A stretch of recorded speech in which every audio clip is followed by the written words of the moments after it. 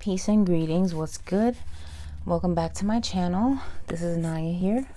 And uh, this video is going to be an unboxing of another deck that I got in the deck swap. I do have one more video after this.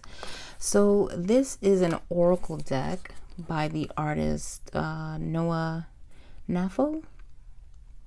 I assume the K is silent. This deck um, is really the artwork is very beautiful. So I wanted to flip through it and show you guys what it looks like. So here is the little booklet that it comes with. Um, there's space to journal with on one side and then a little delineation mm, description on the other side. And these are the cards. Those are the backs um, here we have it compared to a standard uh, tarot size. So just a little bit bigger, definitely hand handleable for a oracle deck. So I appreciate that.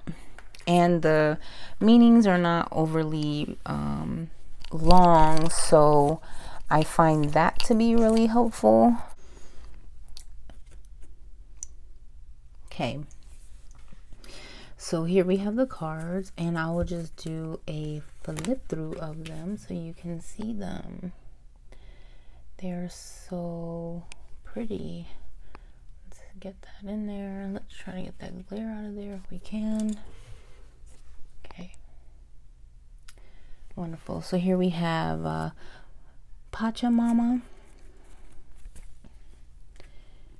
Into life Tell me that the colors in this are not just so good.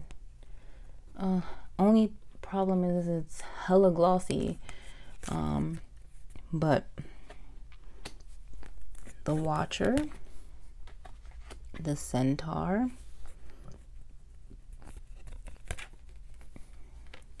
Circle of Life,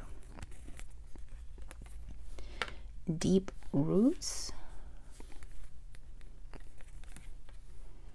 the diamond. And I love that these keywords are like not the same. They're different, you know.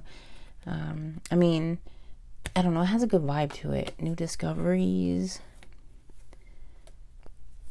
Out of reach.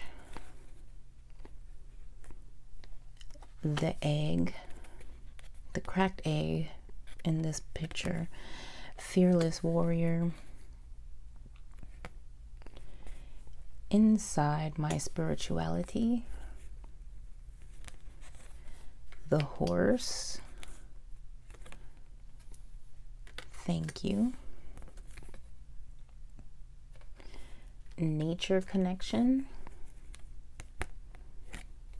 The rebel.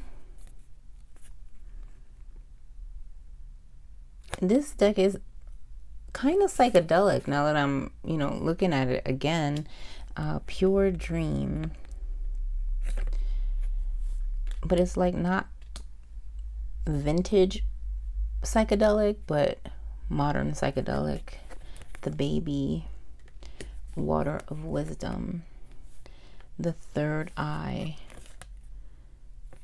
Looking Forward, Freedom, The Gate of Knowledge here and now. Plants guide us. Adam bar. I wonder what that means. Um, let me take a second to see what that means because that's definitely Adam bar, meaning nature man in Hebrew, represents the very first man and how he connected to his surroundings. This card is about new beginnings. In the image, the triangles interlock in such a way that the point of one touches the middle of the base of the other. This symbolizes a pattern in the universe where the smallest and largest are connected at the same point. We can look at many things in life through this pattern, for instance. The present is a small point in our lives, but it is also the larger point since it represents the oldest we've ever been. Very cool. Okay, setting the bar. Fire of Angels, another world's soul, the lovers, self portrait, reflection, reaction, the mermaid, mental agriculture. That's, I love that idea, mental agriculture. The other side, the shaman and the mushroom.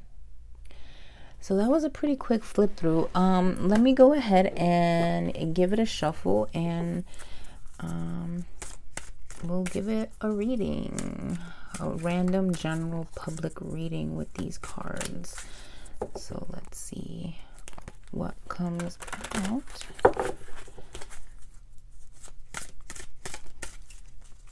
Universe, give us messages for those watching, for the viewers, that something that they need to know and take with them this week or whenever they watch this video. Okay, what I want you to do is just take a deep breath, decompress, and get out of the cerebral and into the heart space.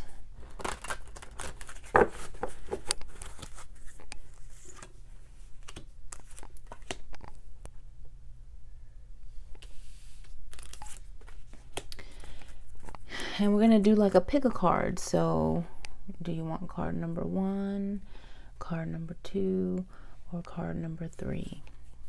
Take a minute to just focus on that and I will flip each one by one and read just out of the guidebook to see what it says. All right, so one, two, or three. All right, so the first one, Another World Soul. It says you might not be aware of something that is affecting you or able to grasp the full scope, since there is much that exists beyond our current consciousness. Try instead to understand the manifestations of what's affecting you to lead a bigger picture.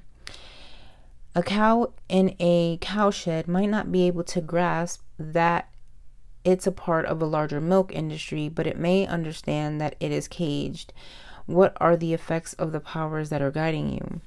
If you draw this card and do not recall a time of being in tune with a dimension of existence outside of mundane 3D reality, it may be that your inner self is calling you to make that connection. Time spent in nature, meditation, or just quiet contemplation may bring you to a subtle awareness that is part of existence that is beyond space and time. Consistency in tuning into these portions of being can invite higher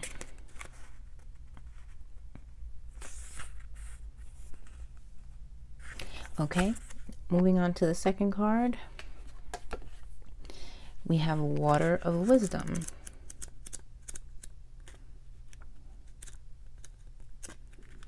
It has to be at the end here. Water of Wisdom. There is a wisdom in everything in the world, even in the simplest of things. Try drinking water as if it's your first time. Experience it without judgment. Feel yourself tasting it and the water going through your body. Know that there is wisdom even in this. Drop all ego and judgment and notice when you are moving through life in an automated way. When you live in an automated mode, you miss the wisdom that lies all around you. Okay, and the third card the third eye.